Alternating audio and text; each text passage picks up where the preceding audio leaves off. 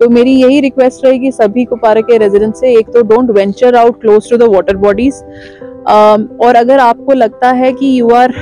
living next to water body जिसमें increase हो रहा है वाटर लेवल ऑल दो हमारी टीम्स ऑन ग्राउंड हैं but you should also proactively contact our district control room और the tehsil control room ताकि आपकी uh, जो इवैक्यूएशन है फ्रॉम दैट रिस्पेक्टिव प्लेस हो सके। अभी जो हमारा फोकस है more than restoration our focus is on evacuation and rescue so that we don't lose any life uh, as of now we have closed down all the schools uh, in district kupwara और uh, यही मेरी request रहेगी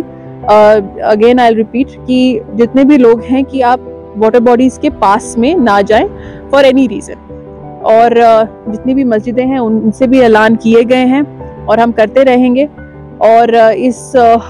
इसमें हम जो यहाँ के कुपारा के रेजिडेंट्स की फुल सपोर्ट चाहेंगे ताकि हमें इस पर्टिकुलर सिचुएशन को कम्बैट करने में आपकी मदद कर सक मदद मिले और हम उसको कर सकें। अभी जो हंडवारा बारामूला का जो रास्ता है वो बिल्कुल खुला हुआ है, उसमें कोई इनंडेशन नहीं है पर डेफिनेटली जो सोपोर का, कुपारा टू सोपुर हाईवे है right now it is under inundation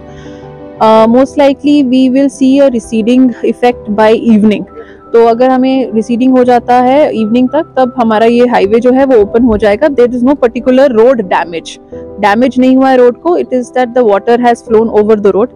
तो वी आर होपफुल कि by evening it will recede and this particular highway भी ओपन हो जाएगा। पर Handwara Baramulla highway now open है। और अगर यहाँ से किसी को जाना है तो they will have to take the Vilgam route to Baramulla